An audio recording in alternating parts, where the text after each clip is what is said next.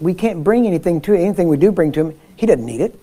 If he uses it, it's just because, you know, he don't want to make us feel bad. You know? And but so he, he but he, he wants us to come to him and then he wants to do the stuff from us. The only thing that we can bring that he can use is the grit not to quit. That's the only thing. We have to have the grit in us not to quit, not to stop. No matter what, no matter how hard it gets, no matter what's going on, no matter what people say, you just don't stop.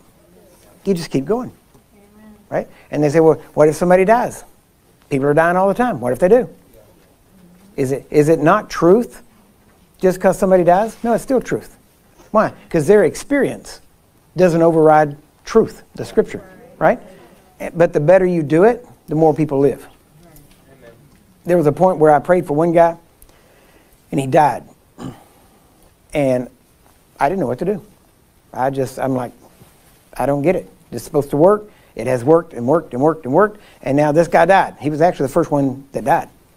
And I said, this, I don't get it. Why did this not work? And so I just quit. I'm like, you know, I'm not going to do this if it doesn't work. It should work. And so I'm trying to figure out why it didn't work. And literally for about three months, I just really stopped praying for anybody outside. People would call, I'd pray for them, that kind of stuff, but there was no push. And then, and, and I'm, I'm like, God, why, why didn't this happen? And then when I went to uh, North Carolina, I was preaching one night, and I'm like, you know, and sometimes this happens, is, you know, somebody can, can die. And I, you know, I don't know why. I asked God, God, why did this guy die? And he never spoke to me.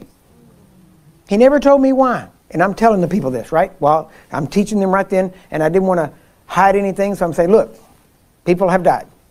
But, you know, it's very, very, very few. And I said, so I don't know why. God didn't tell me why. And right when I said that, God told me why. While I'm preaching. You know, that's the wrong time for God to speak to you. You ever notice that? That's, not the best time. But he, and, I, and I'm preaching, I said, and I don't know why. And I'm like, glory to God. God just told me why. And everybody's like, you know, everybody's like, yeah, yeah, what is it? You know? And I'm like, huh. I said, he said, when he died, I stopped. He said, and I shouldn't have stopped. I should have switched gears from healing the sick to raising the dead. I mean, think about it. If nobody ever dies, can't have any dead raisins. Right? To have, to have the dead raised, somebody's got to die. Don't have many volunteering for that part. Right?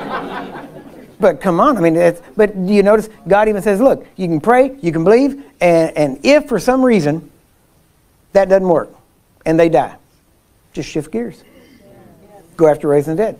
Don't let the devil back you off. Tell him, oh, devil, you done messed up now. Because this is going to be a greater testimony than a healing would ever be.